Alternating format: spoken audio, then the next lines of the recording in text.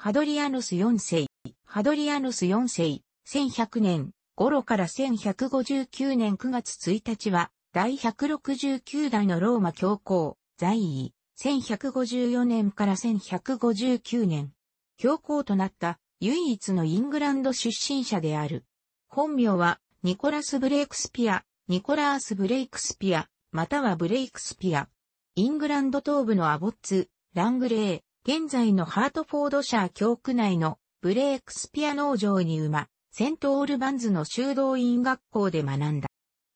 父のロバートは、ニコラスの生後、イングランド東部のセントオールバンズの修道士となったが、ニコラス自身は、修道院への入院を許されることはなかった。修道院長によって、学校での習得状況からふさわしいと思われる段階に達するまで入院を保留、修道院伝されたためである。ニコラスはフランスのパリへ渡り、その後南仏アルルに近いサンルフ修道院の立、修士祭となった。続いて、修道院次長となり、間もなく満場一致で、修道院長に選ばれた。この時期は、通常1137年とみなされているが、同修道院の記録は1145年頃の可能性も示唆している。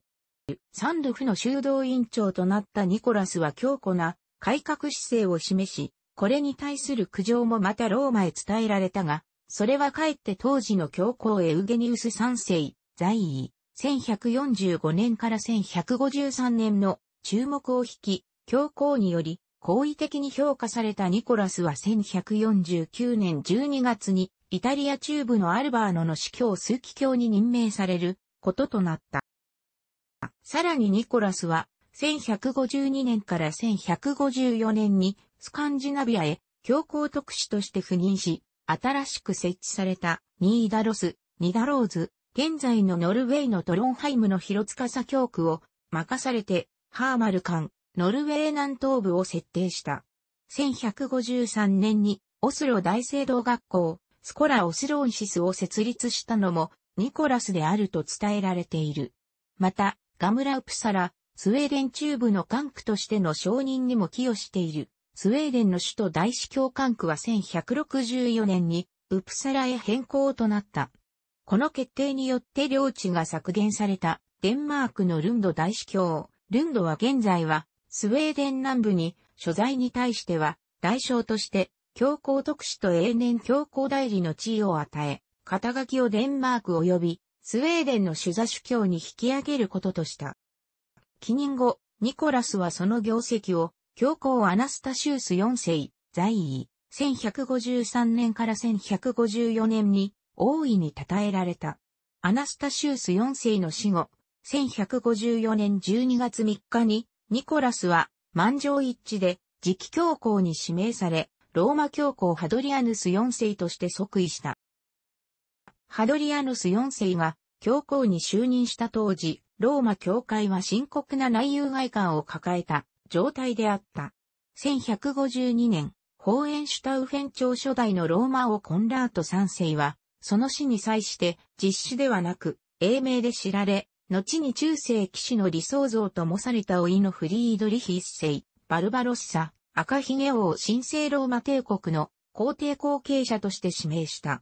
皇帝となったフリードリヒ一世は1154年以降、アルプス山脈を越えてイタリア遠征を行い、教皇に体感を求める一方で、教皇領内への勢力拡大を目論んでいた。フリードリヒ一世は、神聖ローマ皇帝の諸権利をローマ法によって基礎づけ、諸皇に対する皇帝権の確立を目指すとともに、ローマ皇帝の称号にふさわしく、自身のイタリアでの皇帝権の回復に強い意志を持って、ローマ皇帝の総主権を認めない北イタリアの諸都市を懲罰しようとしたのである。南からは、ノルマン朝のグリエルモ一世が、教皇に対しシチリア王権の承認を求めると、同時に、やはり教皇領を脅かし、さらに、この情勢を後期と見た東ローマ帝国、ビザンツ帝国の皇帝マヌエル・イチコムネノスが、ローマ帝国の遺発を継ぐ政党として、イタリア支配の野望を抱きつつ、その一方で教皇とフリードリヒ一世の両方にシチリア王国に対する共同戦線の展開を持ちかけるという複雑な状況あった。その上、足元のイタリアでも、反強硬派の指導者、アルノルド・ダ・ブレシアという学僧によって率いられた反ローマ運動が起こっていた。ハドリアヌス4世はまず、フリードリヒ1世と手を組んで共和主義者、アルノルド・ダ・ブレシアと対決し、その排除にかかった。ローマの町は混乱に陥っており、数奇教が白昼に襲撃されるという事件が起きていた。ハドリアヌス4世は前例のないローマに対する政務禁止、インターディクト処分を1155年の聖枝祭り直前に決定する。これを受けて、ローマの元老院はアルノルデスを追放した。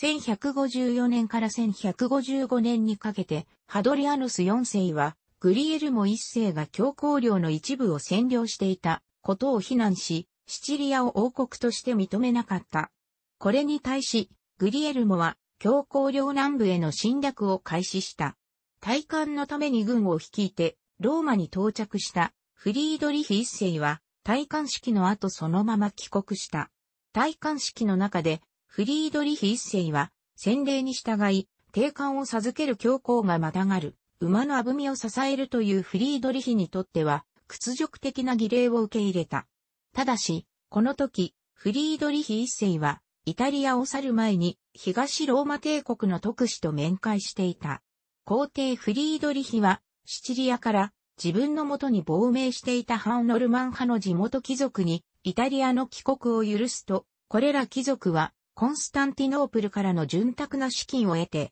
ハンノルマン軍を編成し、教皇にも協力を訴えた。1155年9月、教皇ハドリアヌス4世は自軍を用意して、同盟軍に加勢、その後ローマ教皇、東ローマ帝国と地元貴族による同盟軍は1156年4月までにアドリア海に面したプリャ地方の大半を制圧した。しかし、同5月のブリンディジ、プリャー州の戦いで、陸海両方からのシチリア王国軍による攻撃で、決定的な敗北を喫し、教皇は南イタリアのベネベントでシチリアとの和平条約を結ぶことをあまりなくされたベネベント条約。この時、シチリアとの交渉の先頭に立ったのが、ハドリアヌス4世の後継者となったアレクサンデル3世である。アイルランドので教会会議が開かれた3年後の1155年、ハドリアヌス4世は、ローデビリター、ラウダビリテルと題する教皇直書によって、アンジュー朝のイングランド王ヘンリー2世に対して、アイルランドを攻めることを許可し、カトリックの制度に基づいて、教会の統治と改革を進め、アイルランド全島の強化を図るよう促した。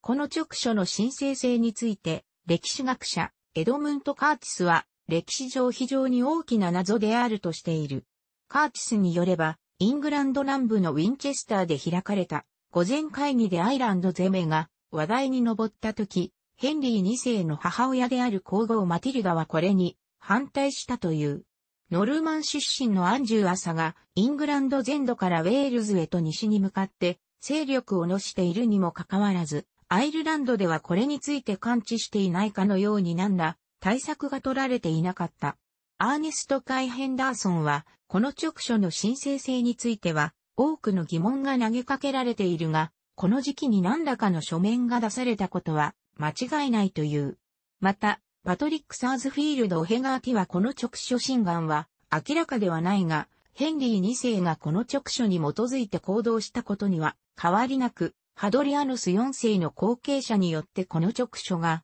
否定されることもなかったと指摘している。1155年にフリードリヒ一世に定冠を授けた教皇は皇帝に対し強圧的な態度を示し、帝国は教会の報道であると述べた。ハドリアヌス4世にしてみれば、自勢力の拡大に専念する皇帝は我慢ならない存在であり、1156年、ついに皇帝と断交して、シチリアのノルマン朝と手を結んだ。それに対し、フリードリヒ一世は北、イタリアにおける帝権を主張すことで応じた。1157年10月、フランスのブザンソンで開かれた会議の場でハドリアヌス4世の特使がバルバロッサに渡した手紙にあった文言が一悶着を引き起こした。ローマ教皇から皇帝に対する体感を意味する、ベネフィシアという語を、ドイツ人の法官が、封建的な従属関係を示す意味に訳したため、皇帝の怒りを買うこととなった。両者の溝は一層大きくなり、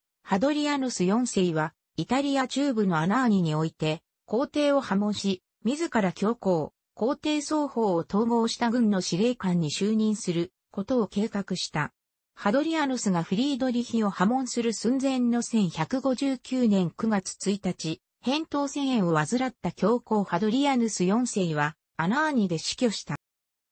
楽しくご覧になりましたら、購読と良いです。クリックしてください。